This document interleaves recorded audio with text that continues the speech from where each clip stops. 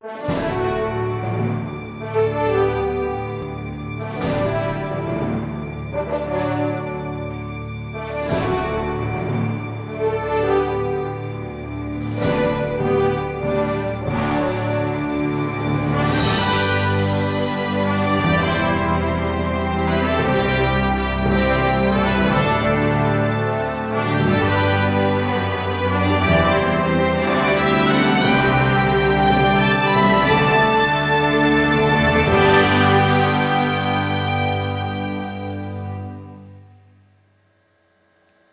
can't afford to train as a Jedi anymore.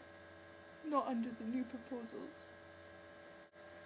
That's going to be one less Jedi out there fighting for justice. They've cut the funding for our Jedi training. Can't afford lightsabers anymore. Instead, we have to collect the inside toilet rolls and, and stick them together. and colour them in. I say we blow up the Death Star. Worked first time round, didn't it? I'm already a Jedi Master, and even I do not agree with these proposals. The Sith are setting out to destroy the Jedi Order, and it seems that they may prevail. We must stand strong and unite, and battle against the evil. I am the evil Sith Lord Darth Cameron.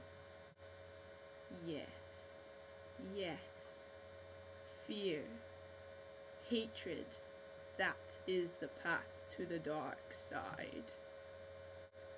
The Jedi will be no more.